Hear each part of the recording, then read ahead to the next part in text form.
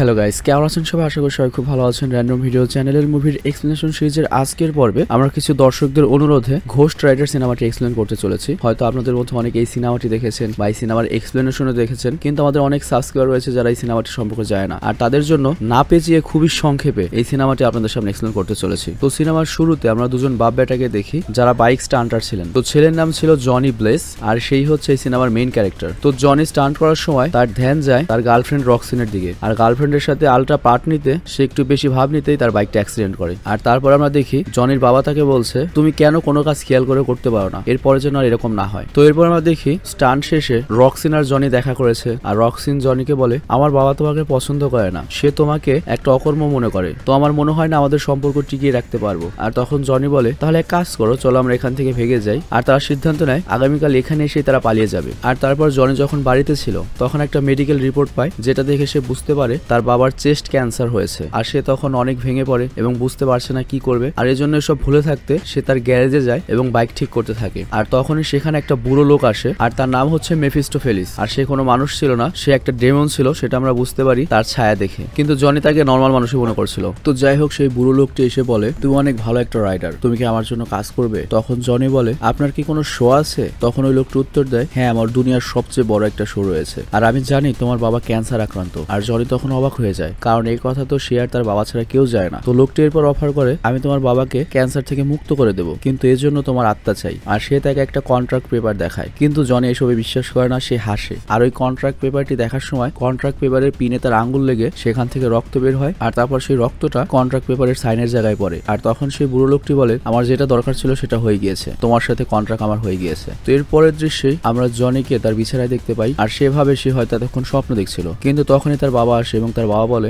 গত কয়েকদিন ধরে আমি অসুস্থ ছিলাম, কিন্তু আজকে হঠাৎ করে আমার শরীরে এত জোশ আসছে কেন? লাগে যেন আমি পুরো সুস্থ হয়ে গিয়েছি। তো এরপর আমরা দেখি, জনি আর তার বাবা ওয়ার্কশপে গিয়েছে এবং জনির বাবার স্টান শো রয়েছে, আর সে জনিকে তার সাথে আসতে বলে। কিন্তু জনি বলে, আমি কি সারাজীবন স্টানটি করব? আমার কি একটা লাইফ নেই? আর সে তার ভালোবাসার কথা বলে, যে তার গার্লফ্রেন্ডের বাবা মা তার গার্লফ্রেন্ডকে নিয়ে দূরে চলে যেতে যাচ্ছে, আর এর জন্য সে তার গার্লফ্রেন্ডকে নিয়ে পালাতে যাচ্ছে। তো জনির বাবা প্রথমে এটা শুনে অনেক রাগ করে, কিন্তু পরে সে তার ছেলেকে একটা বাইকের চাবি দেয়। যে বাইকটি চালানোর স্বপ্ন জনির ছোটবেলা থেকে ছিল, আর যাওয়ার সময় তার বাবা বলে দেয়, গুড লাক। তো এরপর জনি যখন বের হয়ে চলে আসছিল আর তার বাবা যখন স্টার দেখাচ্ছিল, তখন অনেক জোরে কান্নাকাটির আওয়াজ আসে। আর জনি তারপর তাড়াতাড়ি সেই শোর মধ্যে প্রবেশ করার দেখতে পায়, তার বাবা অ্যাক্সিডেন্ট করেছে এবং সেখানেই মারা গিয়েছে। আর তারপর জনি দুঃখে সেখান থেকে অনেক দূরে যেতে চায়, কিন্তু হঠাৎ করে সে কন্ট্রোল হারিয়ে ফেলে আর বাইকটি অ্যাক্সিডেন্ট করে। আর তারপর মাথা উঠিয়ে সেই বৃদ্ধ লোকটিকে আবার দেখতে পায়। আর তারপর জনে তাকে দেখেই বলে, তুমি তো মানুষ নও, তুমি নিশ্চয়ই শয়তান। তুমি আমার বাবাকে মেরেছো। তখন ওই বুড়ো লোকটি বলে, তোমার বাবার সাথে আমার কন্ট্রাক্ট হয়েছিল, তাকে আমি ক্যান্সার থেকে মুক্তি দিব, কিন্তু তাকে অ্যাক্সিডেন্ট থেকে বাঁচাবো, এই চুক্তিটা হয়নি। আর এই কথা বলেই সে জনের ভেতর তার জাদু শক্তি ঢুকিয়ে দেয়, যেটা হচ্ছে রাইডারের জাদু শক্তি মানে এই বুড়ো লোকটির হয়ে জনি ফাইট করবে এখন থেকে।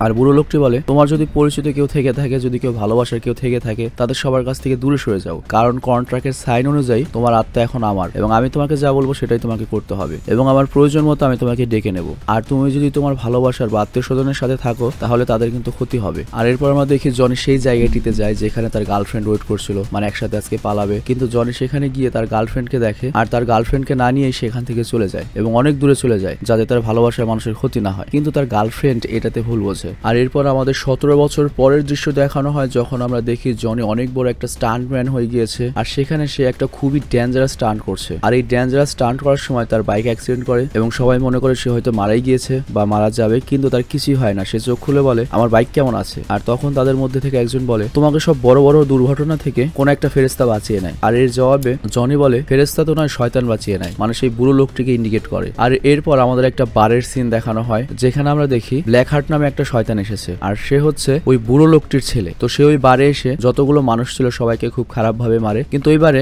মানুষ বাদে আরও তিনজন শয়তান ছিল। আর ওদের একটা শয়তান ছিল বাতাসের আরেকটা পানির, আরেকটা হচ্ছে বালির ওই শয়তানদের সে বলে, তোমরা সবাই আমাকে একটা কন্ট্রাক্ট পেপার খুঁজতে সহায়তা করবে। আর ওই কন্ট্রাক্ট পেপারটি সান ভেগাস নামে একটা গ্রামের কবরস্থানে লুকানো রয়েছে। আর কবরস্থান পবিত্র জায়গা হওয়াতে ওখানে আমরা চাইলেও ঢুকতে পারি না। কিন্তু ওই কন্ট্রাক্ট পেপারটা আমার যে কোনো ভাবে চাই। আর ওটা হলে পুরো পৃথিবীর সকল আত্মা আমার বসে চলে আসবে। এবং আমি এই পুরো পৃথিবীতে তখন রাজ করব। আর তখন ওদের মধ্যে থেকে একটা শয়তান ব্ল্যাক হার্টকে জিজ্ঞেস করে, তাহলে তোমার বাবার কি হবে? তোমার বাবা আমাদের সাথে কি করবে? আর তখনই আমরা দেখি, তখন ব্ল্যাক হার্টের বাবা চলে এসেছে মানে ওই বুড়ো ব্যক্তিটি। আর এবার ব্ল্যাক হার্ট তার বাবাকেই সরাসরি বলে, তুমি ওই কন্ট্রাক্ট পেপারটি আমাকে দিয়ে দাও। তো এখানে উল্লেখ্য ব্ল্যাক হার্ট কিন্তু ওর বাবা জনের সাথে যে কন্ট্রাক্ট করেছে সেটার পেপার চাচ্ছে না। এই সিনেমাতে আরও একটা পেপার আছে। আর ওই পেপারের বিশেষত্ব হচ্ছে, ওটা এমন ভাবে তৈরি হয়েছিল ওই পেপারটা যদি এই ব্ল্যাক হার্ট পেয়ে যায়, তাহলে সে পুরো পৃথিবীতে যত আত্মা রয়েছে, সব আত্মাকে সে নিয়ন্ত্রণ করতে পারবে এবং তার বাবার উপর রাজ করতে পারবে। কিন্তু ব্ল্যাক হার্টের বাবা বলে, তোমার এই স্বপ্ন কখনোই পূরণ হবে না আর আমি তোকে সেই স্বপ্ন পূরণ হতে দেবো না। কিন্তু তখন ব্ল্যাক হার্ট বলে, পৃথিবীতে তুমি আমাদের কিছুই করতে পারবে না। আর ব্ল্যাক হার্টের বাবা তখন উত্তর দেয়, আমি তোকে কিছুই করতে পারব না, কিন্তু আমার রাইডার তোকে থামাবে। মানে জনের কথা বলে আর কি। আর তখনই আমাদের জনিকে মানে রাইডারকে দেখানো হয়। আর তার আজকে একটা বিশাল বড় শো রয়েছে, যেটা পৃথিবীর সবচেয়ে ডেঞ্জারাস শো আর শো শুরু হবার পূর্বে অনেক সাংবাদিক আসে, তার ইন্টারভিউ নেওয়ার জন্য, কিন্তু জনি সরাসরি না করে দেয় যে কোনো ইন্টারভিউ দেবে না। কিন্তু তখনই আমরা দেখি সেখানে তার এক্স গার্লফ্রেন্ড এসেছে সাংবাদিক হিসেবে। আর তারপর জনি শুধুমাত্র ওই মেয়েটিকে ইন্টারভিউ নিতে দেয়, কিন্তু সে ভালো মতো কোনো কিছু বলতে পারে না। তো এরপর আমরা দেখি স্টান্ট শুরু হচ্ছে, এবং এটা সবচেয়ে ডেঞ্জারাস একটা স্টান্ট কারণ ছয়টা হেলিকপ্টার থাকবে, সেটা বাইক দিয়ে পার হতে হবে। পড়ে গেলে হেলিকপ্টারের পাখায় টুকরো টুকরো হয়ে যাবে। তো সবাই ধরে নিয়েছিল, আজকেই হয়তো জনি মারা পড়বে। কিন্তু জনি সফলভাবে সেই স্টান্টটা করে দেখায়, এবং একটা নিউ ওয়ার্ল্ড রেকর্ড হয়। আর তারপর জনি তার গার্লফ্রেন্ড যে গাড়িতে এসেছিল রিপোর্ট করতে সেই গাড়ির কাছে যায় বাইক নিয়ে এবং তার গার্লফ্রেন্ডকে গাড়ি থামাতে বলে। কিন্তু তার গার্লফ্রেন্ড গাড়ি থামায় না, কারণ তার গার্লফ্রেন্ডের মনে এখনও তার জন্য অনেক রাগ রয়েছে, কারণ একসাথে পালিয়ে যাওয়ার কথা ছিল, সে উল্টো নিজে পালিয়ে গিয়েছিল। তো তারপর আমরা দেখি জনি তার বাইক ওই গাড়ির সামনে রেখে ওই গাড়িটি থামায় এবং এরপর তার গার্লফ্রেন্ড বাইরে আসলে তাকে বুঝিয়ে মানিয়ে নেয়। আর তারা সিদ্ধান্ত নেয়, তারা আজ রাত আটটার সময় একসাথে ডিনার করবে। আর তারপর জনি যখন একসাথে ডিনার করার জন্য রেডি হচ্ছিল, তখন সে দেখে তার হাত অস্বাভাবিকভাবে গরম হয়ে গিয়েছে। তার হাত পানিতে পড়লে সেই পানিটা বাষ্প হয়ে যাচ্ছে। আর তখন বাইরে থেকে তার নাম ধরে কেউ ডাকে আর তারপর সে যখন যায় দেখতে পায়, তার গাড়ির ইঞ্জিন কেউ স্টার্ট করে রেখেছে, সবকিছু তার কাছে অস্বাভাবিক লাগে। তো এরপর আমরা দেখি সেই বুড়ো ব্যক্তিটি এসেছে আবার তার কাছে, এবং এটা এসেছে সতেরো বছর পর। আর তাকে সে বলে, তোমার কি কন্ট্রাক্টের কথা মনে আছে? কন্ট্রাক্ট অনুযায়ী তুমি আমার জন্য কাজ করবে। আমার ছেলে আমার সাথে বেমানি করেছে। তো ওকে তোমার মেরে ফেলতে হবে। কিন্তু জনি সাফ মানা করে দেয়, আমি এটা করতে পারব না। কিন্তু বুড়ো ব্যক্তিটি তখন হেসে বলে, তোমার কি মনে আছে তুমি আমার সাথে তোমার আত্মার সৌদা করেছ? তোমাকে তো এটা করতেই হবে। তো তোমার জন্য একটা অফার দিচ্ছি আমি। তুমি যদি আমার ছেলে ব্ল্যাক হার্টকে মারতে পারো, তোমার ওই কন্ট্রাক্ট পেপার আমি ছিঁড়ে ফেলব। তোমার আত্মাকে আমি তোমার কাছে ফিরিয়ে দেবো। আর এই কথা বলেই ওই বুড়ো ব্যক্তিটি তার লাঠি দিয়ে মাটিতে একটা ঠুকা মারে আর জনের ভেতর ঘোস্ট রাইডারের পুরো শক্তি এবার দিয়ে দেয়। আর ওই শক্তি আসার পরে জনির বাইক চলতে থাকে এবং আমরা দেখি ওই বাইকটি খুবই অস্বাভাবিক দ্রুত গতিতে চলছে, এমনকি বাইকে আগুনও ধরে যাচ্ছে। আর তখন আমরা দেখি আশেপাশে সবকিছু ধ্বংস হয়ে যাচ্ছে। মানে ওই ঘোস্ট রাইডারের শক্তি আসার পর পুরো বাইক এবং জনি চেঞ্জ হয়ে গিয়েছে। এবং তার বর্তমান মিশন হচ্ছে ব্ল্যাক হার্টকে মারা। তো ব্ল্যাক হার্ট কি করেছে? সে একটা কবরস্থানে গিয়েছে, ওই কন্ট্রাক্ট পেপারটা নেওয়ার জন্য। এবং সেখানে গিয়ে একটা লোককে পেটাচ্ছিল আর তখনই সেখানে জনি যায়, কিন্তু ব্ল্যাক হার্ট তখন তার যে চামচা ছিল, সেই চামচা দিয়ে ট্রাক মেরে তাকে গুড়িয়ে দেয়। আর ব্ল্যাক হার্ট তখন ভাবছিল জনি মারা গিয়েছে মানে তার বাবার রাইডার মারা গিয়েছে। কিন্তু তখনই আমরা দেখি জনি পুরোপুরি একটা ঘোস্ট রাইডারে পরিণত হয়েছে। তার চেহারা কঙ্কাল হয়ে গিয়েছে এবং তাকে দেখে একটা শয়তানের মতো লাগছে।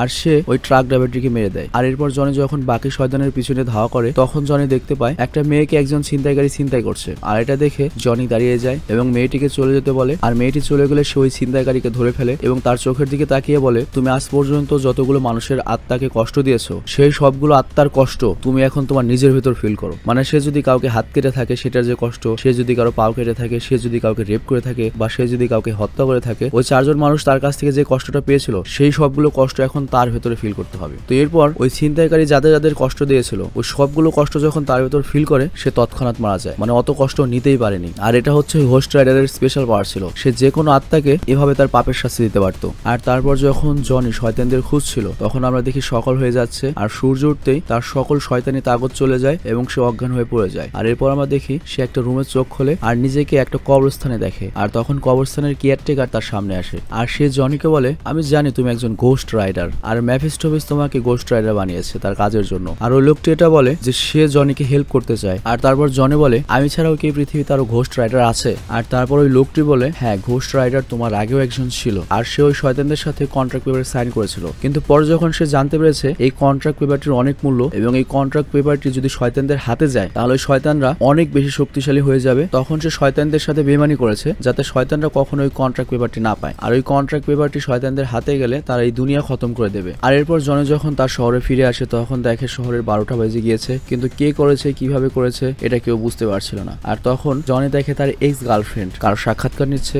আর সেই মেয়েটি আর কেউ নয়, যাকে জনি গত রাত্রে বাঁচিয়েছিল ছিনতাইকারী হাত থেকে। আর এরপর জনি তার এক্স গার্লফ্রেন্ডের সাথে কথা বলতে চায়, কিন্তু সে তার সাথে কথা বলতে চায় না। কারণ গতকাল আটটার সময় একসাথে ডিনার করার কথা ছিল, কিন্তু সে আসেনি। তো যাই হোক, এরপর জনি তার ঘরে যায়, আর তারপর ঘোস্ট রাইডারের যে বই ছিল সেটা পড়ে, আর সেটা থেকে জানতে পারে সেই ইচ্ছে তার আগুন নিয়ন্ত্রণ করতে পারবে মানে নিজেকে নিয়ন্ত্রণ করতে পারবে। আর সে সেটা রপ্ত করে যাতে সাধারণ মানুষের কোনো ক্ষয়ক্ষতি না হয়। আর তখনই সেখানে তার এক্স গার্লফ্রেন্ড আসে এবং উল্টো তাকে এসে সরি বলে। কিন্তু জনি না চাইতেও তার এক্স গার্লফ্রেন্ডের সাথে সময় না কাটিয়ে তাকে সেখান থেকে যেতে বলে। কারণ কিছুক্ষণের মধ্যেই তার তার উপর ঘোস্ট রাইডার আবার ভর করবে। আর তখন জনের এক্স গার্লফ্রেন্ড খুব অবাক হয়। এবং বলে, তুমি আসলে কি চাও আমার কাছ থেকে? তুমি আমার কাছে আসো আবার দূরে সরে যাও। তখন জনি বলে, আমার ব্যাপারে সত্যটা জানলে তুমি হয়তো আমার সাথে থাকবে না। তখন তার এক্স গার্লফ্রেন্ড বলে হ্যাঁ সত্যটা বলো। আর তারপর জনি বলে, আমি দিনে একটা স্বাভাবিক মানুষ থাকি, কিন্তু রাত্রে আমি ঘোস্ট রাইডার হয়ে যাই। এবং তার সাথে যে আত্মার চুক্তি হয়েছিল, সেই সম্পর্কেও বলে। কিন্তু তার এক্স গার্লফ্রেন্ড এটাকে পাগলের প্রলাপ মনে করে রেগে সেখান থেকে চলে যায়। আর এরপর জনিকে পুলিশে ধরে, এর কারণটা হচ্ছে, রোডের মধ্যে জনির মোটরসাইকেলের নাম্বার প্লেটটি পাওয়া গিয়েছিল। মানে এর আগে জনি যখন ফার্স্ট বারের মতো ঘোস্ট রাইডার হয়, তখন তার মোটরসাইকেল অনেক জোরে চড়ার ফলে তার মোটরসাইকেলের নাম্বার প্লেট পড়ে গিয়েছিল আর সেই নাম্বার প্লেট পেয়ে পুলিশ তাকে ধরে ফেলে। আর পুলিশ তাকে জেলে বন্দি করে দেয়, কিন্তু রাতেই তার উপর ঘোস্ট রাইডার আসর করে আর সে জেল ভেঙে বেরিয়ে আসে। আর বাইরে এসে ঘোস্ট রাইডার ব্ল্যাক হার্টকে মারার উদ্দেশ্যে বেরিয়ে পড়ে। আর এটা ব্ল্যাক হার্ট জানতে পেরে তার যে চামচা ছিল, যেটা বাতাসের শয়তান, তাকে পাঠিয়ে দেয় গোস্ট রাইডারকে থামানোর জন্য। আর তারপর ওই হাওয়ার শয়তান আর গোস্ট রাইডার সামনাসামনি আসে। আর তারপর হাওয়ার শয়তান বিভিন্ন বিল্ডিং এর উপরে যায় আর গোস্ট রাইডার তাকে ফলো করে একেবারে মোটরসাইকেল দিয়ে খারাপ ভাবে বিল্ডিং এর উপর উঠে যায়। আর এটা আবার গোস্ট রাইডার বা জনির গার্লফ্রেন্ড দেখে ফেলে। আর তারপর সে বুঝতে পারে যে না, জনি তো সত্যি কথাই বলেছে। যাই হোক বিল্ডিং এর উপরে ঘোস্ট রাইডার আর সে বাতাসের শয়তান মুখোমুখি হয়েছে। আর তারপর আমরা দেখি ঘোস্ট রাইডার বাতাসের শয়তানকে ধরে ফেলেছে। কিন্তু বাতাসের শয়তান বলে, তুমি আমাকে ধরতে পারবে না। আর তারপরে আমরা দেখি সে হাওয়ায় মিলিয়ে যায় এবং কোনোভাবেই ঘোস্ট রাইডার তার সাথে পেরে ওঠে না। আর তারপর ঘোস্ট রাইডার যেটা করে, তার হাতে যে সেকল ছিল আগরের, সেটা বাতাসে ঘুরিয়ে টর্নেডোর মতো বানিয়ে ফেলে। আর ওই টর্নেডোর মধ্যে সে হাওয়ার শয়তানটিকে আটকিয়ে পুড়িয়ে মেরে ফেলে। আর তারপর জনি আবার সেই কবরস্থানে যায়। আর কবরস্থানের কেয়ারটেকারকে জিজ্ঞেস করে, আমার সাথে যেগুলো হচ্ছে এগুলো কীভাবে বন্ধ হবে? আর তারপর কবরের ওই কেয়ারটেকার বলে, এটা থেকে মুক্তি পেতে হলে তোমাকে ব্ল্যাক হার্টকেই মারতে হবে। কারণ যেহেতু তুমি একটা কন্ট্রাক্টে সাইন করেছ,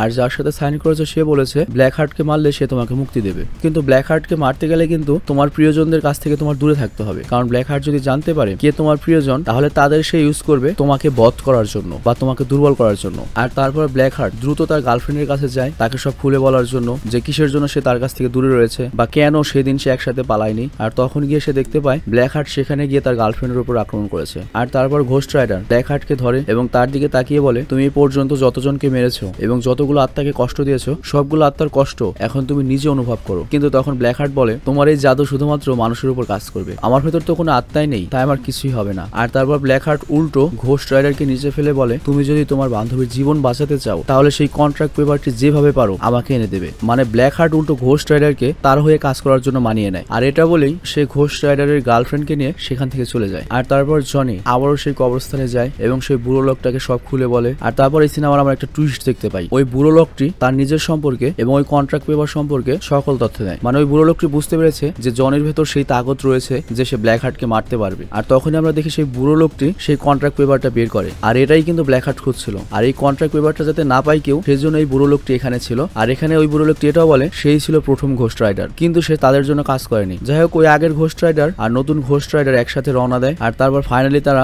ব্ল্যাক হার্ট যেখানে রয়েছে সেই এলাকাতে চলে আসে। আর তখন আগের ঘোস্ট রাইডার বলে, আমি আর একবারই ঘোস্ট রাইডার হতে পারতাম। আর সেটা আমি আজকের জন্য জমা রেখেছিলাম, যাতে আমার যোগ্য ঘোস্ট রাইডার গিয়ে আমার বাকি কাজটুকু করতে পারে। আর তারপর সেই ঘোস্ট রাইডারটা চলে যায়। তবে সে যাওয়ার আগে নতুন ঘোস্ট রাইডারকে খুব দরকারি একটা অস্ত্র দিয়ে যায়, যেটা দোজকের একটা অস্ত্র ছিল। আর ওটা দিয়েই শয়তান মারা যেত। তো জনি এরপর যখন ব্ল্যাক হার্ট যেখানে রয়েছে সেখানে যেতে যায়, তারপর সেখানের পানির শয়তান তার উপর আক্রমণ করে কিন্তু ঘোস্ট রাইডার এত শক্তিশালী ছিল যে, সে পানির নিচে তার ঘোষ রাইডার ফর্মে এসে উল্টো পানির শয়তানকে মেরে দেয়। তো এরপর সে ব্ল্যাক হার্টের সামনে যায় ওই কন্ট্রাক্ট পেপার নিয়ে। কিন্তু ব্ল্যাক হার্টের সামনে যেতেই ব্ল্যাক হার্ট তাকে মেরে সেই কন্ট্রাক্ট পেপারটি ছিনিয়ে নেয়। আর এরপর আমরা দেখি ব্ল্যাক হার্ট সেই কন্ট্রাক্ট পেপারটা পড়তে থাকে। আর সেটা পড়ার পরই পৃথিবীর যত আত্মা ছিল, সব আত্মা ব্ল্যাক হার্টের ভেতরে প্রবেশ করে। আর এর ফলে ব্ল্যাক হার্টের শক্তি কয়েক হাজার গুণ বেড়ে যায়। আর এদিকে আমরা দেখি জনির গার্লফ্রেন্ড জনিকে বলছে, চলো আমরা এখান থেকে চলে যাই। ব্ল্যাক হার্টের যেটা দরকার ছিল, ও তো সেটা পেয়ে গিয়েছে। এখন এতে আর আমাদের কিছুই করার নেই কিংবা আমাদের কোনো আর লেনা দেনা নেই। কিন্তু তখন জনি বলে, আমি যদি ওকে না মারি, তাহলে পুরো দুনিয়া ধ্বংস করে দেবে এই শয়তানি পাওয়ার দিয়ে। আর এরপর আমরা দেখি জনি সেই পিস্তল দিয়ে ব্ল্যাক হার্টের উপর গুলি করছে। আর এখন সে হোস্ট রাইডার হতে পারছে না, এর কারণটি হচ্ছে অলরেডি আলো চলে এসেছে। আর জনি বারবার চেষ্টা করছিল আলো থেকে দূরে অন্ধকারে যেতে, কিন্তু ব্ল্যাক হার্ট এমন করতে দেয় না। সে উল্টো তাকে গলা ধরে উঁচু করে ধরে, আর তখনই সেখানে আমরা দেখি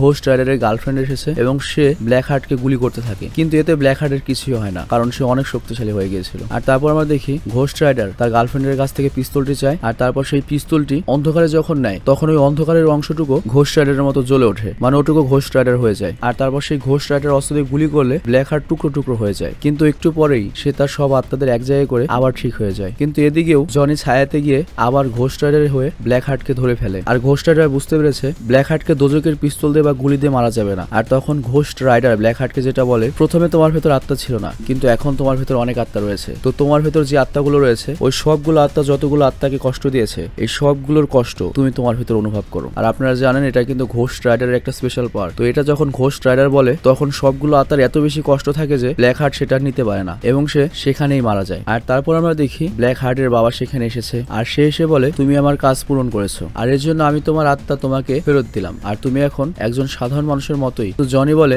মাত্র তোর ছেলেকে মেরেছি, তোকে তো আমার এখনও মারার বাকি রয়েছে, আর এখন আমি তোকে মারবো, এবং কোন শয়তান আমার হাত থেকে বাঁচতে পারবে না, এবং আমার এই শক্তি দিয়ে দোজগের শয়তান বা পৃথিবীর যে কোনো ধরনের শয়তান আমি প্রতিহত করব। আর তারপর আমরা দেখি সেই বৃদ্ধ লোকটি খুবই রেগে যায় এবং আমি তোকে দেখে নেব এই কথা বলে এখান থেকে চলে যায়। আর এর সাথে সিনেমাটি শেষ হয়। তো এই ছিল ঘোষ রাইডার সিনেমার সংক্ষেপ। তো ভালো থাকবেন, সুস্থ থাকবেন। টেক আল্লাহ হাফিজ।